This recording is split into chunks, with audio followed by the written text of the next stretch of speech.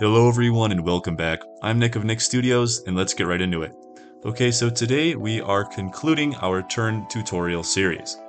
Today specifically, we are going to look at the end phase as well as recap what we've covered before. Over the last few videos, we've gone over the production, order, and skirmish phases, and then again today we are going to go over the end phase.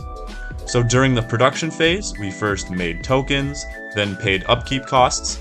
We then discarded cards to draw more cards, and then if our hand was not already at 5 cards, we drew up to that amount. And then finally, we refreshed things like order counts and exhausted units. We then went into the order phase, where we could summon cards, where we could transfer units between legions or within legions. We could move legions and attack with them, and then of course we could conquer with them. Then we went into the skirmish phase, in which we used an attack order during the order phase, and we of course attack an opposing legion, who thus counters if they are able to. We apply damage, and then units with skills may use them at this time. And then during the resolve step, we remove any destroyed units or lost, gusted, etc. And then finally, we get to the end phase. And this is a very simple phase. If you have any remaining orders, except for attack orders, you may spend them at this time. You may then use any final effects that you haven't, such as a once per turn effect or maybe an exhaust effect.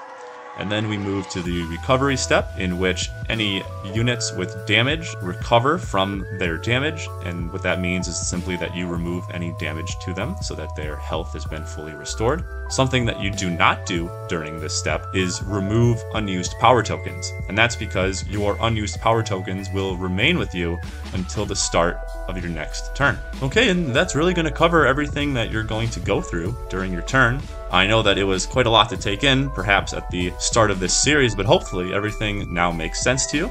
And in that vein of thought, let's take a look at the board state, because now I hope that you have a pretty solid understanding of what all these icons and words and numbers and such mean. For instance, on the left here, you should recognize that at the upper left corner there, we see the field.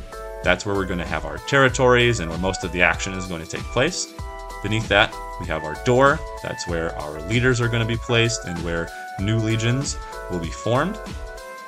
And then on the right there, we have our legion zones where we have up to six legions. And beneath that, of course, are the resource zones, which are already labeled. As a quick overview, we are going to, at the start of our turn, draw cards from the unit and resource deck, which then, of course, go to our hand. And then from our hand, we play cards to either the resource zones or the legion zones. And then once we form a new legion, again, we send it to the door. And then from the door, we send that legion onto the field. And of course, on the field, we're going to move our legions around, attack enemy legions, conquer territory, and hopefully just have a great time. And with that being said, thanks for watching. If you've watched the entire turn tutorial series up until this point, an extra special thank you. And as always, make sure to like, comment, and subscribe so that you too can enter the door to adventure.